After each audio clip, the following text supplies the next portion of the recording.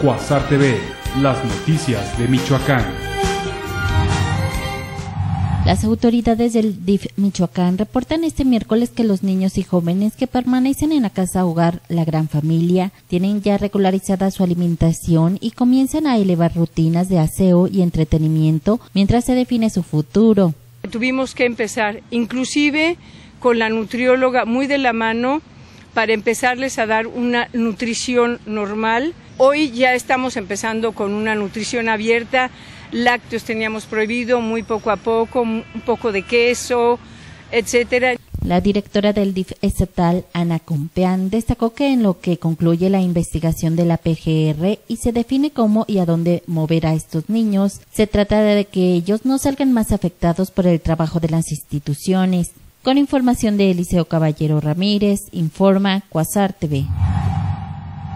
Con una marcha, decenas de ex elementos de seguridad pública y Procuraduría de Justicia del Estado exigieron la revisión de sus despidos por presuntos nexos con el crimen organizado y la instalación laboral en áreas administrativas.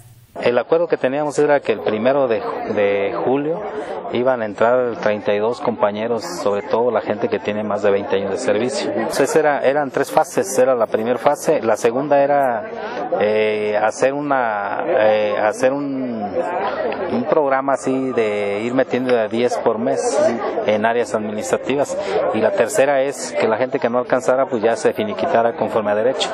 La marcha partió del obelisco a Lázaro Cárdenas para visitar Palacio de Gobierno, Congreso del Estado, Secretaría de Finanzas y la Comisión Estatal de Derechos Humanos. Con información de Felipe Bárcenas, informa Cuasar TV.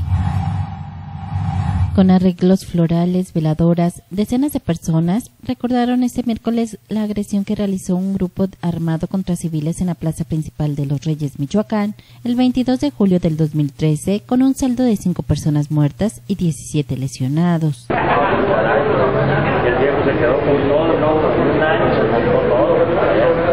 En el homenaje participaron familiares y amigos de las víctimas de este ataque realizado por el grupo armado cuando se realizaba una manifestación a favor del surgimiento de los grupos de autodefensas.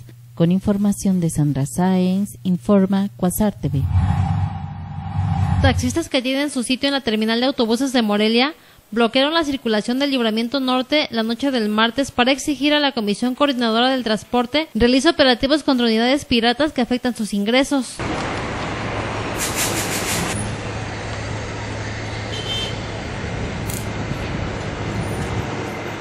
Los taxistas de la terminal de autobuses retuvieron a trabajadores del volante que esperaban el pasaje que ellos, por alguna razón, se niegan a llevar a su destino. Para Cuasar TV, Sandra Sáenz. Estudiantes de diferentes escuelas de nivel medio y superior se manifestaron este miércoles frente a las instalaciones de la Secretaría de Finanzas para exigir el pago de más de cinco meses de atraso de becas que les otorga el PRONAVE a más de 10.000 alumnos.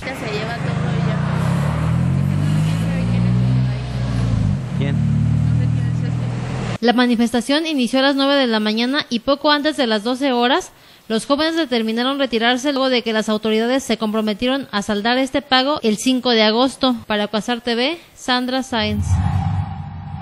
Dirigentes de diversas organizaciones de transportistas del Estado exigieron a la PGR que llame a comparecer al exgobernador Fausto Vallejo y con su declaración se permita establecer que José Trinidad Martínez Pasalagua fue obligado a reunirse con líderes del crimen organizado. Reproducimos textualmente la declaración del entonces gobernador Vallejo Figueroa el pasado 7 de junio en un acto público en el sentido de que, uh, abrimos comillas, y dice el texto, todo mundo en Michoacán sabe que muchos empresarios y personas fueron levantadas y obligados a reunirse con el crimen organizado. Los transportistas de todo el estado, afiliados a la Comisión Reguladora de Transporte, ratificaron que el también exdiputado priista nunca participó en actos de corrupción ni de colaboración directa con el crimen organizado, por lo que dijeron iniciarán una serie de movilizaciones hasta lograr su liberación.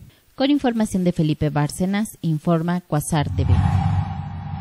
Con una inversión de 3 millones de pesos se llevará a cabo la rehabilitación de la unidad deportiva Frontones Primero de Mayo, Félix Ireta. Las obras a realizar son mejoramiento de firme de concreto, pintura, malla perimetral, malla ciclónica, alumbrado y construcción de cubierta de una cancha. Sea una rehabilitación construcciones adicionales que mejoren sustantivamente las actuales.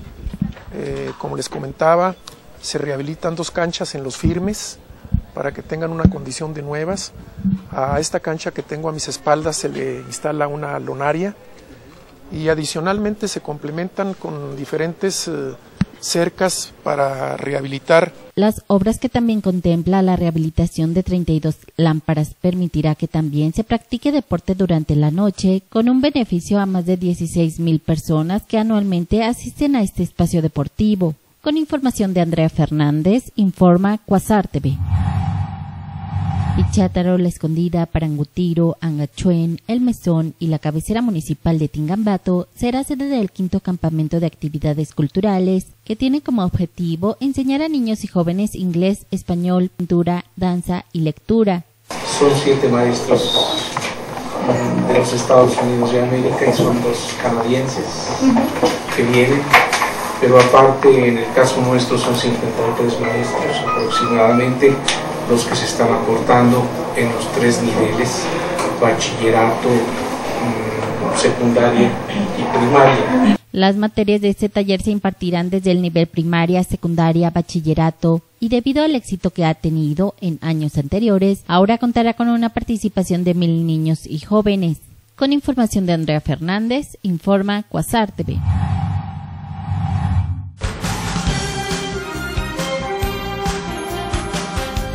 Cuasar TV, las noticias de Michoacán.